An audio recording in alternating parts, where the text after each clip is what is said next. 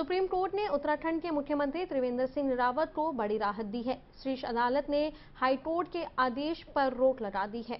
अदालत ने सीबीआई जाँच पर लगाई रोक, जबकि हाईकोर्ट ने रावत के खिलाफ भ्रष्टाचार के आरोप में सीबीआई जाँच के आदेश दिए थे। भ्रष्टाचार का यह मामला तब का है जब त्रिवेंद्र सिंह रावत झारखंड में बीजेपी के प्रभारी थे। उस वक्त पत्रकार उमेश कुमार ने आरोप लगाया था कि 2016 में मुख्यमंत्री के एक रिश्तेदार के खाते में 25 लाख रुपए की रकम डाली गई थी। उमेश कुमार ने आरोप में कहा था कि रांची के एक बिजनेसमैन ने यह रकम नोटबंदी के दौरान डाली थी और इस सच को गो सेवा आयोग झारखंड का अध्यक्ष नियुक्त किया गया था। उत्तराखंड के मुख्यमंत्री त्रिवेंद्र सिंह रावत ने इसे लेकर उमेश कुमार पर राजद्रोह का मुकदमा दर्ज करवा दिया था।